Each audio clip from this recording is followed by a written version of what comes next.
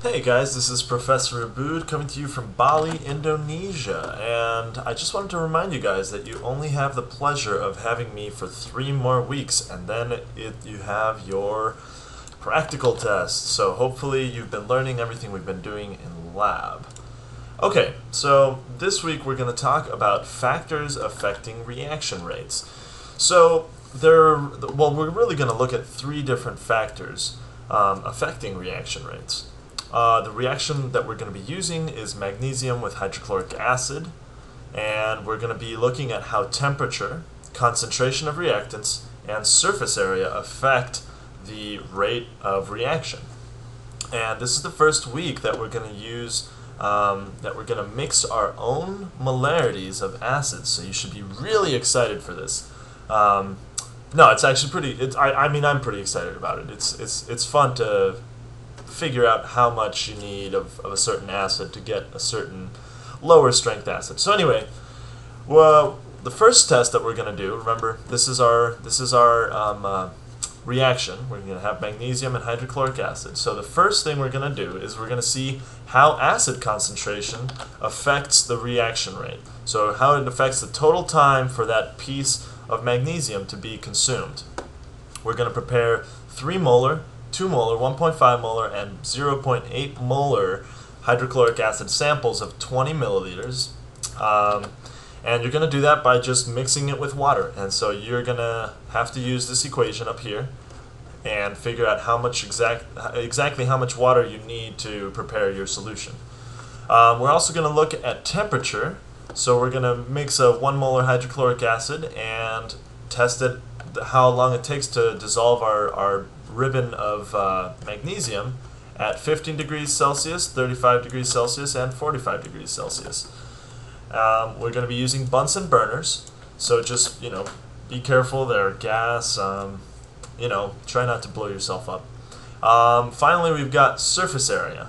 So surface area is going to be measured, how do you change surface area? And you might be wondering, how does surface area even affect it?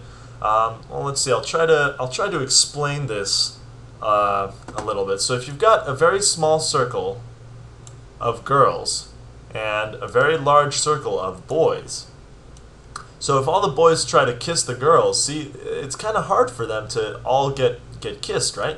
Whereas if you have a very large amount circle of girls, there's a lot of space for them to, to mingle and, and kiss each other. So surface area is the same in chemistry. So essentially, essentially instead of uh, having boys and girls kissing, you've got molecules reacting with each other. So if you've got a very large surface area, um, there's a lot of opportunity to react. In this case, you know, like for example, if we had, so let's say we take this blob and we split it up into a lot of small blobs, you'll notice that you have a lot more surface area in which uh, the reaction can take place. So hopefully that explains it well enough. If you are still confused, let me know and I will explain it a little better. So we're going to curl these magnesium ribbons into very small, tightly curled ribbons and into very open ribbons. And this, essentially what we're trying to do is when we curl them very tightly is to not allow them to have a lot of surface area, whereas if we spread them out a lot, they have a lot of surface area. And so we're going to measure how long it takes for that to dissolve. So why do you even care about reaction rates? Well, so if we talk about the chemical industry or the brewing industry or the oil industry, all of those things have these big reactors that essentially are made to optimize the reaction. And let's say I buy these reactors, which, by the way, are probably worth about a million dollars a piece. They're glass lined on the inside, they're stainless steel on the outside.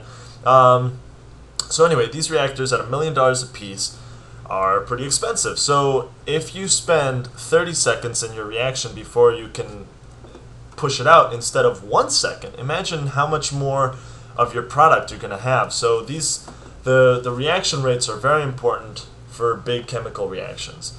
Um, so that should essentially cover lab 7 and we're also going to be doing lab 8.